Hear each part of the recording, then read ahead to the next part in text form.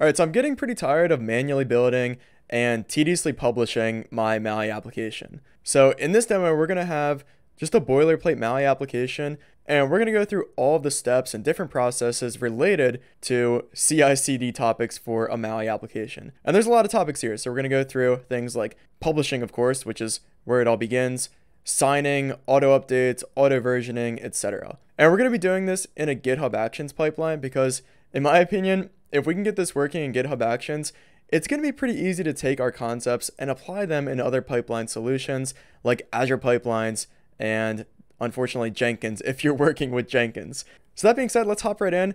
We're first going to cover publishing. So actually getting an MSIX for our Maui application that we can install. So as I mentioned, we have just a boilerplate Maui application. So we're starting from a clean slate here. So we're going to be doing GitHub Actions as we mentioned.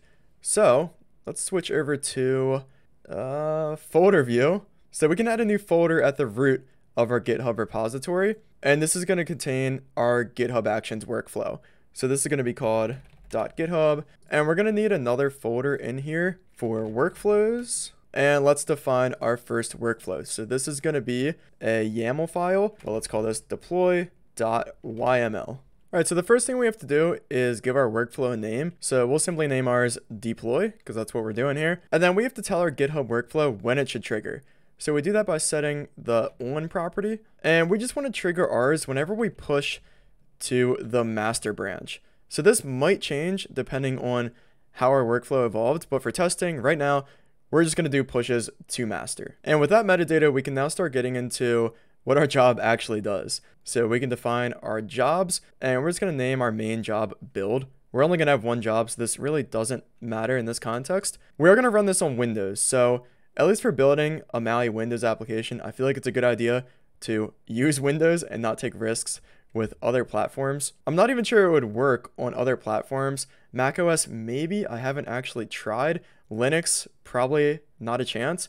Not too sure. But just to be safe, let's stick to Windows. Now in this job, we can start defining our steps. So this is the good stuff. This is what our workflow actually does. So the first thing we have to do is check out our code from GitHub. But in order to build our Maui application, of course, we're going to need .NET.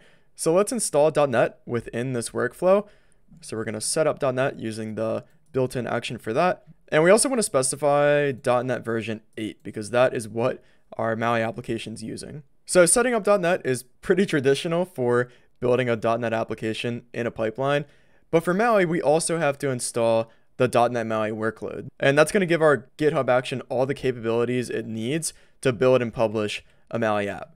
So let's do that. Let's do a .NET workload install Maui. So we should have everything we need now. Let's get into the fun part. So first we need to do a .NET restore so that we install packages for our Maui application. So let's run that.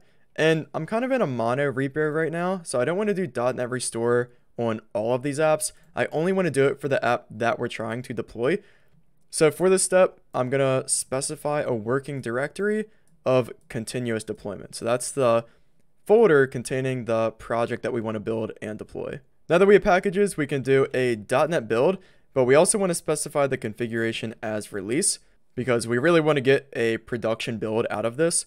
And we also want to specify the framework as Windows. So we don't want to build all of the iOS or Android builds as well, because we're really just focusing on .NET MAUI Windows CI/CD here. And similar to .NET Restore, we also want to set the working directory to our single project. Now the next step we are going to throw in now, and that is test. So same kind of thing as building, except this is going to be our test step and we're going to run .NET test. Okay, I have no idea why I called out the .NET test step here. We definitely don't need it because right now we don't have any tests and our project isn't even a test project anyways, so feel free to skip this step. And finally, now that we have our app built and tested, we can get to publishing it. So we want to do a .NET publish, same flags as building and testing, so release configuration, targeting Windows only for our single project here. But we also want to specify this p generate appx package on build as true so that we get an MSIX for our Maui application without having to set up some sort of other .NET project that builds our MSIX for us. So this simplifies things greatly. And the MSIX installer is the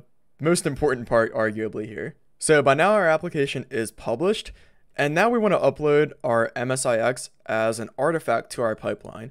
So we're going to have one last step here for uploading our artifact. We're going to give our artifact a name of build, and then we have to point to the path of our artifact. So this part is a little bit tricky because we have to figure out what that path is. So a quick way to find it is just doing a .NET publish locally. It's also good to just test these steps locally before running them in the pipeline because you get much quicker feedback as we'll see here. So here we go, we get the path to our MSIX output here. So we can reference that. So it's in the continuous deployment folder and then bin release. We get our Windows .NET 8 framework specifier, the Win10 x64 platform, the app packages folder, and then we get a folder for our app name and version, as well as our MSIX, which is our app name, version, and platform. So these values can change depending on the build, especially the version. So we don't necessarily want to hard code these here, and luckily with this upload artifact action, we can do globs here. So in this case, we'll just grab all of the MSIX items in our publish folder, which should be just this single MSIX that will get uploaded as an artifact. But we got all the steps. We're setting up .NET, installing the Maui workload, restoring, building, testing, publishing, and uploading our MSIX. So with that being said, moment of truth, let's test it. So commit our workflow, push up these changes, here we go, workflow is running, off to a good start. Here we go, yay, build was successful. So our MSIX was uploaded successfully. If we head over to the summary tab, we see our build. This is what we named our artifact. So if we download this, so we have a zip and this zip contains our MSIX.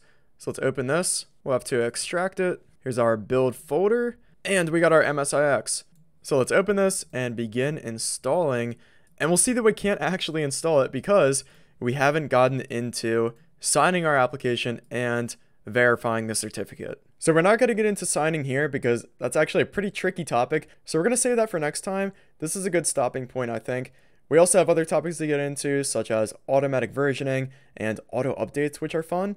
And these are actually all topics that I've explored and gone into in member live streams. So if you're interested in becoming a member for early access to topics, consider checking that out. But regardless, we are going to be covering these other CI/CD topics in upcoming videos very soon. But for now, hopefully you can apply these concepts to your own project to build, test, and publish your Maui application in a CI/CD pipeline.